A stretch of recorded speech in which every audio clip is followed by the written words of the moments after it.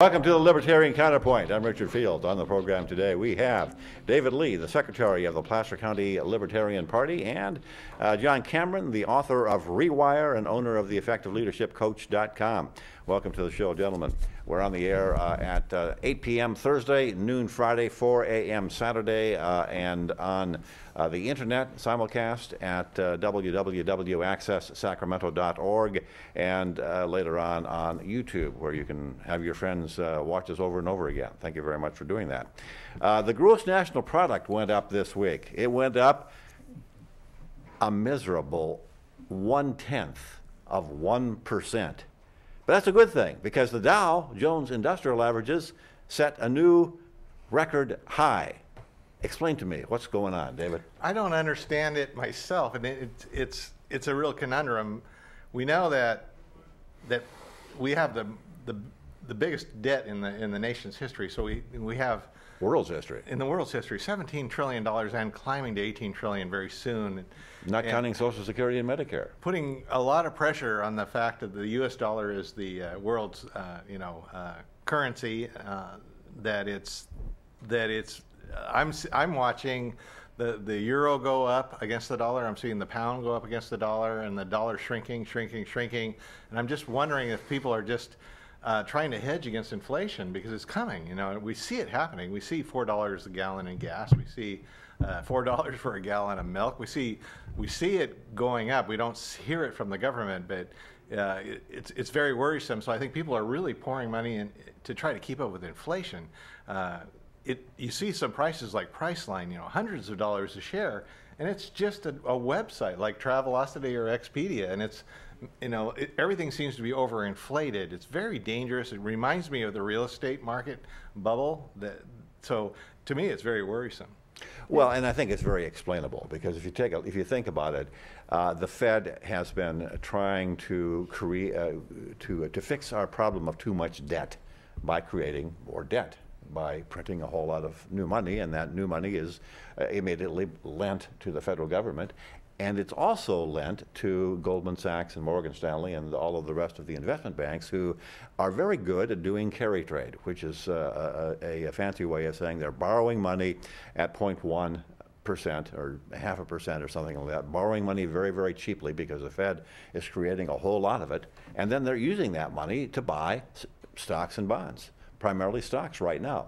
And it's something that keeps the stock market going up. It doesn't have a whole heck of a lot of effect on the rest of the economy. The Fed's theory is that it'll create a wealth effect, that if everybody sees their stocks and bonds going up, they'll go out and spend money on uh, Big Macs. But the problem is that the people who own stocks and bonds don't normally eat Big Macs.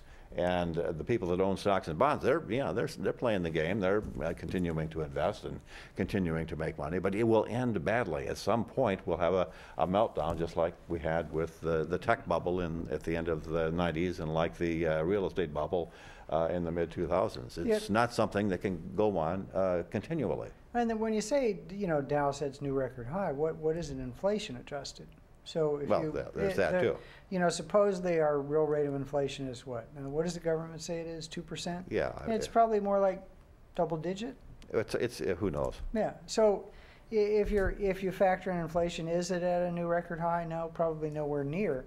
But the other the other number there, GNP grows up a miserable 0.1 percent. Um, I don't know a whole lot about statistics. I've only taken a couple of courses, but I think 0.1 percent is probably in the realm of statistical error. So we don't know whether it actually went up or down.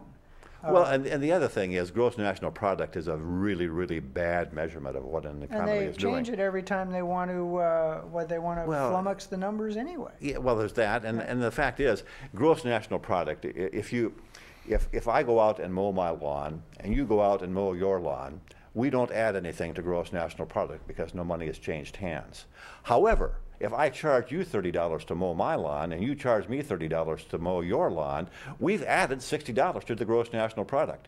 What's wrong with this picture? It's a, it's a, it's a, uh, it's a, it's a measurement of the economy that, game. that doesn't really tell you a whole lot. The other thing is that whenever government spending I, goes I up, wouldn't mow your lawn for thirty dollars. Mine's much smaller than yours. You could mow mine for thirty dollars, but I would charge more for mowing yours. whenever the uh, government spends, I'll ignore that. Whenever the government spends money, uh, that also goes into gross national product, even though they don't raise the taxes to to pay for the money they're spending. So the, you know the GNP is a is a very very faulty indicator. What of- would be a better number? Uh, wages? Uh, private sector wages? Well, private sector wages or private private sector sector consumption, wages, uh, and be a great anything, anything yeah. that doesn't, uh, that does, well, you, uh, two things. You want to be able to include uh, the value of me mowing my own lawn, work that, work that people do on their own behalf, and you'd want to exclude anything the government does, because most of what the government does is either uh, done much more inefficiently, or it is counterproductive to what the economy uh, should, should, should be happening in the economy. Yeah, I, I, I absolutely agree with that. What does it take, in the state of California a while back, did an internal study that said it takes uh, three state of California workers to do the work of two private sector employees exactly the same work. So if, if a private company would have done the same survey, well, first of all, they would have done it for a tenth of the money and a tenth of the time, but they would have also come up with the answer that it's not uh, three to two or two to three, it's more like two to one. So government is inefficient, but the, the problem is, is that it's purposefully inefficient and its praises are sung, like when they were trying to keep NASA afloat. They said, well, that's 17,000 high paying jobs. And nobody raised this question. And the question was, wait a second, did they have to print the money or steal the money to pay these PhDs to keep these 17,000 jobs? So i nobody asked the real question. And um, I think it's, it's all paper money. If government Sachs is making money, we're in trouble. If government Sachs is losing money, I think the economy's probably on a good footing. But it still, it all comes down to the 17 trillion in debt. I mean, somebody's going to have to pay that. And No. what, what Never gonna get paid. If They will never get paid. It will be inflated away. well, it, the interest will be paid, It'll- and, and that's No, and that's going to the get Not even holders. That. The holders of the debt will get paid their interest. No, interest. they're going to get Not necessarily. something, but So- they're not going to get paid. You could, I've, I've got a, uh, I've got a, a 100 trillion dollar bill that proves the government doesn't pay their bills. It's from Zimbabwe. It's uh, Yeah. stuck to my refrigerator. It's Good- worth good less point. than the paper is printed on. Yeah, so, good point. at some point, the government will not be able to pay off its debts. And then, and then all of a sudden, then the, the dollar doesn't become the world's currency, and we can no longer print money. So, yeah, to- and we, be- and we, Well, beca- we go the way, Nationalist we go the way Radio, of we go the we go way of way the of pound the sterling. Same In, thing. NPR, Nationalist Yeah. People's Radio, says that, that within a year, uh, the yuan or renminbi is going to replace the dollar as the, the world trade currency anyway. It could very well happen. Yeah. Uh, moving on to another topic, we'll just skip around a little bit here. China has, by some accounting, now surpassed the U.S. as the, as the world's largest economy. Good segue. Uh, world's largest economy, not the U.S. anymore. It's China. Well, they've got they've got the people. The people in China work hard. They've got the uh, uh, they actually practiced practice cap they preach communism and practice capitalism, where we do the opposite. We preach capitalism and practice Practice communism. communism. So I mean, you know, they're they're going in the right direction, and you know, you can quibble with how they're keeping the statistics, whether or not the uh, the, the numbers really make a whole lot of sense, whether the GNP that they use is superior uh, realistically to the uh, GNP that we use. But uh, there's a problem if uh, if the United States is not the world's largest economy, and it's the one that you alluded to, which is that not being the world's largest economy means that the dollar is no longer the petrodollar. The dollar is no longer the world's backup currency or reserve currency, and the dollar simply is not in demand by other countries as a uh, means of settling trade or in foreign reserves. And when that happens, the dollar becomes worth a whole heck of a lot less. That's what could be the catalyst that sets off the inflation that we all know is coming as a result of the Federal Reserve uh, increasing the money supply so dramatically over the last five or six, five or ten years. Another thing that's going on that's a natural progression, you know, China is still in many cases a third world country. You have you have people able to move from the farm where they're employed very inefficiently to factories and it's a step up. Here we have don't have anybody on the farm and uh, that we the our equivalent of the farm might be low income housing somewhere, but there is no place for those people to step up because the only thing that they could probably do would be food service. Uh, there are no manufacturing jobs in this country anymore. So, you know, Japan was actually in a similar situation post World War II. They had um, th- they created a, a from rubble uh, with a lot of help from the U.S. an up-to-date, high-tech manufacturing economy, and they were manufacturing junk at first, and then the quality improved, and people went from the farm to the factory, and from the factory to middle-class capitalists, and that's happening in China. So, uh, 10 years from now or 15 years from now, who's it going to be? India, maybe.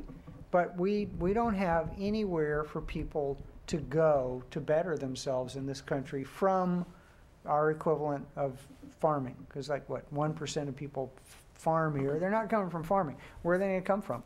Um, Section 8 housing somewhere, but they don't have any skills. So, we, we can't, our economy is in a different stage than the Chinese economy. We've managed to create Well, I think it's more- a whole bunch of consumers uh, who aren't producing anything. Yeah, and I think what you really get, it really is not so much the economy as is, as it is the culture and the cultural expectations. We've created a, uh, uh, a, a bread and circuses economy. Entitlement. Uh, yeah, entitlement, bread and circuses, keep people entertained, keep people believing they're entitled to uh, whatever, you know, their big screen TV Rome and their. and reminds their- you of Rome. Well, yeah, Rome, uh, the British Empire, uh, the uh, the French, uh, the Dutch. Uh, you know, there's been a number of uh, empires over the course of history, and all of them eventually uh, collapse when they do a couple of things wrong. One, get their citizens and feel feeling like they're entitled to the life of Riley, and two, get involved in overseas adventures, they can't be they can't they don't And pay for three, themselves. debase their currency to yeah, pay for it all. to pay for it all, Yeah, right? yeah. And that's you know we're we're in that process. We're very interrelated with the Chinese economy, and the economy, the Chinese economy is very interrelated with the United States. So, you know, part of that debt is is buying Chinese goods and services, especially goods and manufactured goods. They own a great deal of our debt. They they are motivated to keep the dollar up because if the dollar collapses, it really affects their economy negatively too, because then they won't be able to. Well, there's a reason they haven't, uh, I mean, they are the biggest holder of U.S. uh, treasuries. yeah. And there's a reason they haven't uh, started dumping them. Right, right, And- and that's- and and that's I- it. yeah. That's the whole the, Yeah. the whole Well, and- interrelationship. Yeah, I'm thinking that uh, if we ever really got serious about saber rattling in their part of the world, that they might do a little dumping. Might be a little economic warfare going In on. In the uh, Senkaku or whatever it is, in the islands off Japan, Yeah, yeah. So- Could, could be a problem. Edward Snowden uh, has uh, received a couple of awards lately for his, uh, for his uh, I, I call it heroism. Uh, he also has made another revelation, and this one is that the NSA, National Security Agency, actually collects more uh, data on Americans than it does on Russians, or for that matter, any other citizens of any other country in the world. Uh, do you find find this uh, as appalling and uh, as believable as I do? Well, I don't see the problem is in the title. It's the National Security Agency, so therefore they're going to collect data on Americans. If we change the name to the International Security Agency, then that they would start looking at the. So it, no, I don't find any of it. You've got these clowns with with tens of billions of dollars to spend and no oversight, and the idea that more and more data is going to improve uh, their ability to counteract terrorism and a war on terror that doesn't really exist. Um, it's you know basically just a reason to spend an extra you know 500 billion dollars a year. Of course they're going to do that. They're going to collect data until somebody uh, turns off the power at wherever it is they're collecting data, and it doesn't matter whether it's a court order. Uh, you could put armed troops outside, and still they started firing on them. They would keep collecting. It's it's power, pure and simple. Nobody's slapping their wrist. What um, Obama says he, he wants to create some regulations to uh, guarantee our, our freedoms to um, converse electronically. We, we have such a thing, it's called the Constitution. He's trampling on the Constitution on the one hand, and, and the Supreme Court has decided, well, I guess we'll probably talk about that later, decided not to do anything about it, but he needs to create a new set of regulations. We already Careful, got careful, one. careful, careful where you're going to, uh, with this, John, because uh, m- uh, President Obama has declared that today, May 1st, is Loyalty Day. Loyalty? Loyalty. Today is Loyalty Day. So Loyalty you to just- who? you- Well- His, His Majesty, I don't know. Loyalty Day. Well, I'm a loyal 49ers fan. I will, I will, my fealty is to, uh, is to the 49ers and uh, the sacred to the memory fourth- of Bill it goes- Walsh. It goes to the Fourth Amendment, unreasonable search and seizures. Uh, the government's run amok on that, and we, we have to stop it. It's up to the people to stop it. It's up to the press to report it. And interestingly, the Supreme Court's about to uh, to make a decision on uh, whether the police have to obtain a warrant to search a cell phone and all the data in the cell phone. As our as our lives become more cell phone based, I mean, you can't walk around the city and not see people walking like zombies looking into their cell phones. They have their contacts. They have the, their search sites are on their cell phone. They have Facebook. They have Instagram. They have Twitter. They have their whole relationship on that cell phone. Who they talk to and when they talk to them. And so now there is a case in the Supreme Court that they're going to rule on very soon, which is a huge case because you know we don't know uh, how far government's going to run amok, and hopefully the Supreme Court will realize that this kind of information, who I talk to and who I associate with on a cell phone, is the same thing as who I talk to and who I associate in my house. I wouldn't hold out a whole lot of hope uh, on that particular decision because the U.S. Supreme Court just refused to hear uh, the uh, National Defense Authorization Act uh, challenge. It was Hedges versus Obama. Uh, and uh, it was a case that was brought by Chris Hedges and by uh, uh, Daniel Ellsberg and a number of other people saying that, uh, you know what, uh, we think that the idea that you can unlawfully detain Americans without a warrant and without trial uh, is a bit of a problem. And that's, that, that, that was the crux of the case. And the trial court judge actually agreed with the, uh, with the, the, the, the plaintiffs. Uh, unfortunately, the, the Court of Appeal uh, overturned the trial court, and uh, the U.S. Supreme Court refused to hear the case. So the very bad appellate court decision now stands, which means that in the United States today, if the federal government decides that they don't like the, uh, the looks of you because they think you might possibly have once uh, been in the same Starbucks with a terrorist, uh, you therefore are associating with and probably are a terrorist, they can lock you up, throw away the key, no trial, no nothing.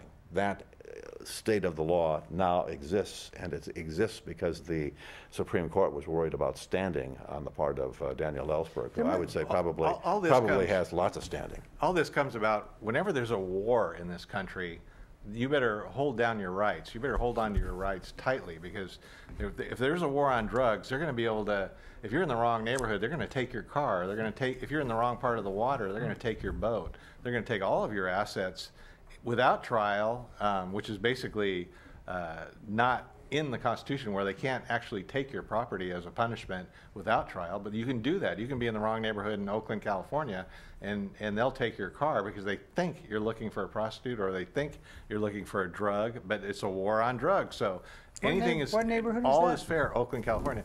So all uh, I was born in Oakland, so I can talk.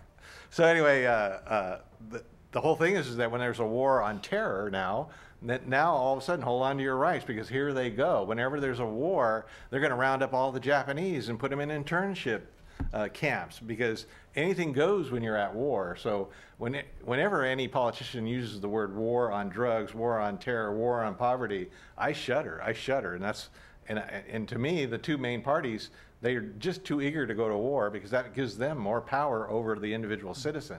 So we need to start looking at a third party that really considers that the individual rights and the Constitution is more important. I think there might be one good point to this. So let's look at the definition of a terrorist. Would, it, would a terrorist be someone who, who um, assassinates people at uh, using explosive devices uh, in their own country? So under that law, we have a gentleman in, who lives in this big house in Washington. It's white. Uh, it's I believe, white. Yeah. And he's uh, not, by the way, but that's that's we'll probably talk about later. Um, and uh, he has been killing people with weapons of terror and killing children and civilians uh, for years without any kind of authorization on the part of the Constitution. So I would think in any stretch of the imagination, in, in any definition of the word terrorist, this man would be a terrorist. So um, I think that we should demand that he is arrested and held without charge uh, um, and without process until further notice. Send them stop to, send them to Guantanamo. Send him to Gitmo. Send 'em to Gitmo. Stop these acts of terror. Yeah. Stop them. Just right, right like that. Yeah, well, you know, uh, and, and it's, it's not just the federal level, it's also the local level. There's a stretch of highway between uh, Reno and uh, uh, the other side of Nevada. And uh, it's desolate out there. It's, there- you know, nothing out there except the road. And state troopers in Nevada, or, or sheriff's deputies, I'm not sure which, but police officers have been known to stop people for going 75 and a 70 and take their cash. Just say, you know, ask a bunch of leading questions to find out whether or not they are carrying cash. And if you're leaving Reno, there's a high possibility that if you are lucky, you're carrying cash. And if you are, accusing them of uh, not having uh, earned that cash legally and just taking it. And once confiscation occurs in a situation like that, good luck getting your money back because it's just not going to happen without, uh, without a whole lot of expense on the uh, part of attorneys. Starting we, to sound we like talked Mexico. about a case of a gal who, who was trying to open a bar and traveling from one place to another. She'd saved the money as an exotic dancer, I think. She had like $100,000 in cash, and we talked about it on the show, I believe. And the uh, cops took the money, saying that much cash must obviously be associated with the drug trade. And I thought it's been, I don't think she's See, the gotten it result back. of the war on drugs where, you know, Yeah. Yeah. I mean, they're, So, I mean, yeah. it's, it's like martial law. They just declare martial law. No. The, uh, we can't get through this, this program without talking about that guy that owns the uh, LA Clippers. Uh, s- What's his name? Mr. Sterling. Sterling, yeah. Uh, this is a guy who, he's a, you know, he's a, a you know, a, a fine, upstanding member of the community. He's received an award from the NAACP. No, no, he didn't receive the award. He, yeah, he did. No. They're thinking about giving it to him again. What? Oh, so he's already received Yeah, one. he's, he's Oh, received I one award from the that. NAACP for being a good Oh. guy, and they're thinking they were they were thinking about giving it to him again, until a conversation between him and his black mistress was leaked to uh, some internet site, uh, in which he. And I, I, you know, for the life of me, I've, I've been looking for the actual conversation. I tried to haven't been listen able to it, and it was so boring. It I was haven't been seven minutes long. I haven't been able to find it, but he said something to the effect, if I under, correct me if I'm wrong, something to the effect that he didn't want his black mistress hanging out wi- at Clippers games Or having with pictures black taken. with black ball players. Yeah. Specifically, the picture that was taken with her and uh, Magic Johnson. Okay. And, and, and basically, he was saying, I don't care what you do with them, just don't have pictures taken with them. Well, and- and if you listen to the, I listened to the first part of it, and he, what he was saying is, you know, uh, Sweetie, or he didn't refer to her as his girlfriend, even though he's given her apparently a Bentley and a Ferrari and two hundred thousand dollars in cash. and her mother, and her a house. Yeah. So uh, and uh, and his wife suing him because that's community property, and she shouldn't be. He shouldn't be giving it to the girlfriend. So it's very convoluted. He's worth 1.7 billion dollars. Well, apparently he's like a slumlord. That's that's his major job. He he's a heavy litigator, and he took the money. Um, he he got for his percentage in court and invested in real estate. Um, so very interesting fella, and uh, good luck uh, having him go quietly into the night over this NBA. But the the the point to all this that people don't seem to understand is that anybody has the right to express any opinion they want to another person in private. And unless they're fomenting to riot or suggesting that somebody commit a crime, um, then then there is no recourse for it. Yet That's this, one. That's one point. Yeah. There's another one. that there and um, this guy owns an NBA team. He's paid like eighteen million dollars for it or something. I guess fair market value now is like four hundred million. And they've decided that they're going to force him to sell this team that he bought, and paid for, and fine him for for his language, and uh, or his his statement. Yeah. But, the, but the, the problem is, is that a um, an NBA player um, could uh, grab a microphone from somebody and yell about racist slurs against somebody who's white, and would be held to a different standard. So we have a double standard. And there's a third point that I'm sure. Well, the- yeah, the, the, the main point is, this is all happening in, in, in a private contractual uh, arrangement. The NBA, this is not the government that's funding him two and a half million dollars and making him sell the team. It's the NBA, which is a private organization. You know, uh, you can argue about whether uh, the uh, NBA should have a monopoly on professional basketball. I won't get into that. But it is a private organization. They have their own rules and regs. The rules and regs allow the uh, NBA to kick people out that don't follow their uh, guidelines, and they, there's nothing wrong with that. I, I think the fact that, that uh, the Sterling character is being kicked out of the NBA, made to sell his team, fined uh, two and a half million dollars, losing all of his corporate sponsorships for box seats and for advertising and the whole nine yards. This is the free market at work saying, we don't like what you're doing. We don't like what you said. We think that it is despicable, and therefore, we're not going to do business with you. To me, it's, it- you know, it's, it's, it's, it's a model of how the free market enforces good behavior. What, what, what would happen though, and, and I agree that, that this is a private organization and they have rules, and if he joined it, he has to abide by their rules. As an owner, I'm sure he signed con- some Yeah. kind of owner's contract. So if the opposite thing were to happen, if, um, if they were to uh, decide that uh, s- a person of color who was a, a part owner of a team uh, made some kind of racial slur about white people and kicked them out, the government would instantly step in and say that that's discrimination. You can't do it. Well, I don't know. I mean, you know, you know, see Jesse Jackson or, or Al Sharpton. Uh, these guys are always doing, uh, you know, Racist rants. yeah, well, I, I just see this thing as a, as a, as a, as a, a triumph of the free market, as a way the free market says it's not okay to be a racist bigot. Well, Unless I- you're the NCAA, you know, the NCAP, the, the National Association for the Protection of Colored People, because they, they, uh, took they his- liked him and- took they his liked him money, until they didn't. Even after he, uh, was accused of, uh, uh, discriminating in Well- his, in his housing Discrimination. project. Yeah, I mean, That he you- wouldn't, he then- wouldn't then- rent to black people and he settled out of court. It's still, his money was still good by the NCAA. Then kudos to the, to UCLA, which didn't take his money because they Right, didn't right. want to, they didn't want to be, take tainted money. Yeah. Uh, I hear the music, so we're going to not talk about the pod houses in San Jose. I was really looking forward to that.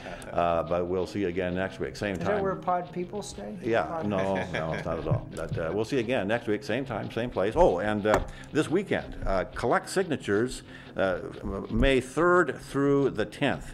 You can go to, to uh, South Lake Tahoe and collect signatures for a petition to properly regulate marijuana, medical marijuana uh, dispensaries in South Lake Tahoe. For more information, call 916 446 1776, extension 9. Ask for Gail Morgan. Thank you.